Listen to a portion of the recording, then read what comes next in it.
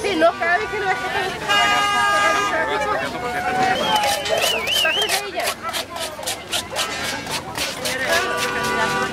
Alejandro Monraz, candidato presidente municipal.